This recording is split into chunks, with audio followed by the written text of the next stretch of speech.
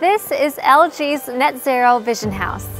Here, LG's home energy platform is put to work alongside energy efficient appliances and hydronic water solution through the heat pump system. This is how we store and use the extra energy with the energy storage system.